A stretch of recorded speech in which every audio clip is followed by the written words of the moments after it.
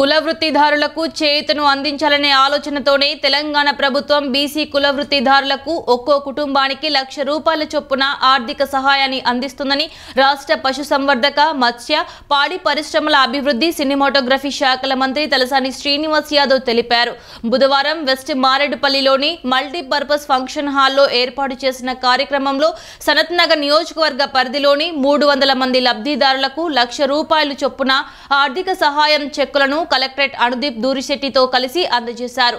ఈ సందర్భంగా ఆయన మాట్లాడుతూ ఈ కార్యక్రమం నిరంతరం కొనసాగుతుందని అర్హులైన వారందరికీ ప్రతి నెల దశల వారీగా అందజేయటం జరుగుతుందని వివరించారు. ప్రభుత్వం అందిస్తున్న ఈ ఆర్థిక సహాయాన్ని సద్వినియోగం చేసుకొని అభివృద్ధి సాధించాలని కోరారు. తెలంగాణ ప్రభుత్వం అనేక అభివృద్ధి సంక్షేమ కార్యక్రమాలను అమలు చేస్తూ దేశానికే ఆదర్శంగా నిలిచిందని చెప్పారు. అన్ని వర్గాల ప్రజలు సంతోషంగా ఉండాలని ప్రభుత్వం కోరుకుంటుందని దానిని దృష్టిలో ఉంచుకొని అనేక కార్యక్రమాలను అమలు చేస్తుందని తెలిపారు. రోడ్లు అభివృద్ధి డ్రైనేజీ త్రాగునీటి సమస్యల పరిష్కారం పేదలకు ఉచితంగా డబుల్ బెడ్రూమ్ ఇండ్ల పంపిణీ వంటి అనేక కార్యక్రమాలను అమలు చేస్తున్నట్లు వివరించారు. కార్యక్రమంలో బీసీ కార్పొరేషన్ జిల్లా అధికారి ఆశన్న మాలేడుపల్లి తహసీల్దార్ పద్మసుందరి స్పెషల్ ఆఫీసర్ రాజేందర్ మాజీ కార్పొరేటర్ ఆకుల రూప అత్తిలి అరుణాగౌడ్ నాయకులు కొలన్ బాల్రెడ్డి ఆకుల హరికృష్ణ హనుమంతరావు వెంకటేష్ రాజు అశోక్ యాదవ్ నరేందర్ నాగులు తదితరులు పాల్గొన్నారు.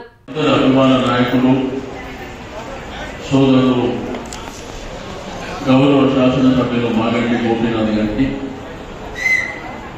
హైదరాబాద్ జిల్లా కలెక్టర్ అనుదీప్ గారు గౌరవ కార్పొరేటర్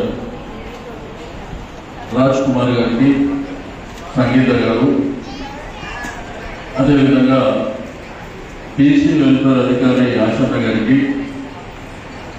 డీసీఓ పద్మ గారు అదేవిధంగా వేదిక మీద ఉన్నటువంటి నాయకులందరికీ ఈ ఈ కార్యక్రమంలో భాగస్వామ్యం అవుతున్నటువంటి అవకాశం అందరికీ నమస్కారం.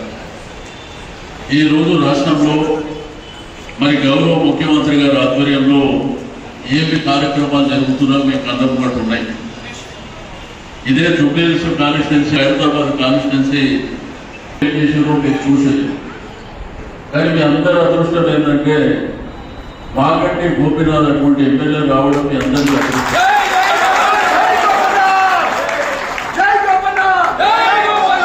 ఆయన నిరంతరంగా మీ మధ్యనే ఉండి ఒక వైపున డెవలప్మెంట్ చేసుకుంటూ రెండో వైపున వెల్ఫేర్ కార్యక్రమాలు. ఈ రోజు మీకందరికీ తెలుసు ఒక ఆడబిడ్డ పెద్ద అయితే లక్ష రూపాయలు ఇచ్చే కార్యక్రమం. దాంతో పాటు కేసీఆర్ కిట్టు. ఇదే కాకుండా సీఎం రిలీఫ్ ఫండ్.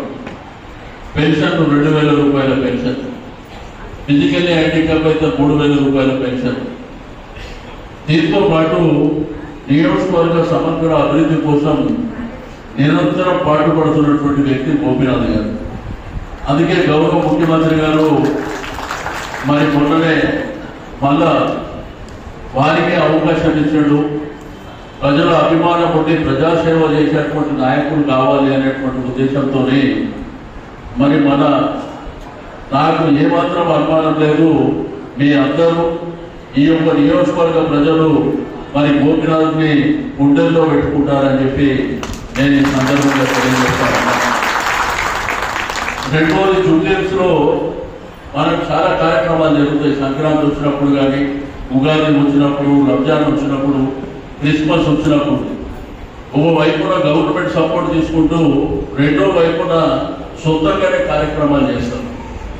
చాలా మందికి గిఫ్టులు ఇచ్చే కార్యక్రమం కానీ ఎవరైనా పేదలు వస్తే వాళ్ళని ఆదుకునే కార్యక్రమాలు ఇక్కడ చేసుకుంటూ పోతాం.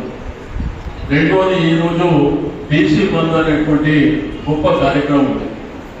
ఇదేంటంటే పునరుత్తులు చేసుకునే వాళ్ళకు ఒక ఆధారం ఇవ్వాలి ఒక సపోర్ట్ ఇవ్వాలి ఎందుకంటే మనకున్న ఆర్థిక పరమైనటువంటి ఇబ్బందులను దృష్టిలో ఉంచుకొని ఒక లక్ష రూపాయలు గవర్నమెంట్ సపోర్ట్ చేస్తే మీకు ఒక ఆధారం ఉంటుందనేటువంటి ఉద్దేశంతో మరి ఈ కార్యక్రమాలను తీసుకోవడం జరిగింది. మరి దీంట్లో ప్రధానంగా పేద పడుగు బలహీన వర్గ వెనుకబడిన తరగతులకు సంబంధించినటువంటి మరి బీసీ బిడ్డల కోసం ఈ కార్యక్రమం. మీకు ఒకటి మాత్రం నేను తెలియజేస్తున్నా. తీసుకునే వాళ్ళు సంతోషంగా ఉంటారు నాని వాళ్ళు బాధపడుతుంటారు ఒక చుట్టేసులనే ఈ రోజు మూడు వందల మందికి ఇస్తున్నాం. కానీ అప్లై చేసేది దగ్గర దగ్గర ఐదు వేల మంది. కానీ వాళ్ళందరూ కూడా బాధపడవలసినటువంటి అవసరం లేదు. వాళ్ళందరికీ కూడా మరి గోపినాథ్ గారి ఆధ్వర్యంలోనే వాళ్ళకు కూడా వస్తాయని చెప్పి నేను ఈ సందర్భంగా తెలియజేస్తా ఉన్నా. ఈ కార్యక్రమం మీ ఒక్క రోజుది కాదు. ఒక నెలది కాదు ఇది. నిరంతరంగా మీలాగనే మూడు వందల మందికి తర్వాత మూడు వందల ఐదు వందల అట్లా పెంచుకుంటూ పోతుంది ఆఖరి మనిషి వరకు ఇచ్చేటువంటి కార్యక్రమాన్ని మేము తీసుకుంటామని చెప్పి నేను ఈ సందర్భంగా తెలియజేస్తా ఉన్నాను ఎందుకంటే ఈ రోజు కేసీఆర్ గారి నాయకత్వం మీకు అందరికీ తెలుసు. ఒకప్పుడు ఇరవై నాలుగు గంటల కరెంటు లేకుండే మనకి. తాగడానికి నీళ్ళు కూడా సరిగ్గా దొరకకపోతుండే. రోడ్లు కూడా సరిగ్గా ఉండకపోతుండే. కమ్యూనిటాలు సరిగ్గా ఉండకపోతుండే. హాస్పిటల్స్ కూడా బాగుండకపోతుండే. ఈ రోజు స్కూళ్ళు కూడా మన అద్భుతంగా మన బస్తీ మనబడి కింద స్కూళ్ళను కూడా మనం డెవలప్ చేసుకుంటున్నాం. కాబట్టి నేను మీ అందరినీ కోరుకునేది ఒకటే. మీతో పాటు రాని వాళ్ళు కూడా మీ ఇంటి పక్కనే ఉంటారు.